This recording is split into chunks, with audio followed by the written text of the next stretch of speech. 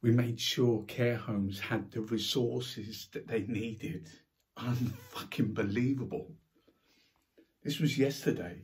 Boris Johnson's care home killing fields, catastrophic carnage, where the elderly were decanted from hospitals without a test.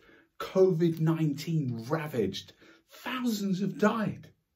They were abandoned by a government that, that not only didn't care, not only did they not care, they couldn't even be bothered to count the dead.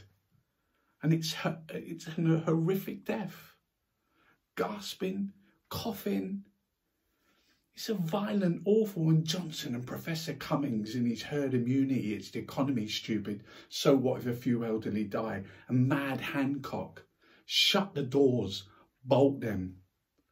No hospital, no GPs, carers without masks or gloves, unarmed, and the elderly confined to their rooms as ears waited outside. Waited for the coughing to stop. Can you imagine? And then call for the body bags. And yesterday to the entire country, you know what he declared? You know what he said? Right from the start, we've tried to throw a protective ring around care homes. you what? You what?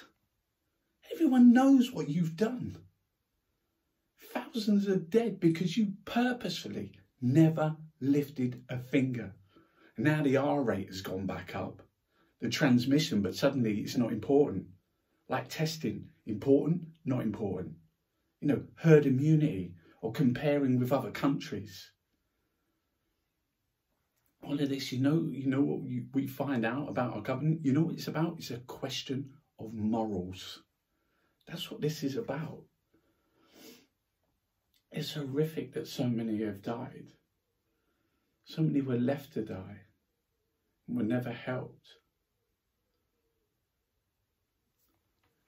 And the government never even tried.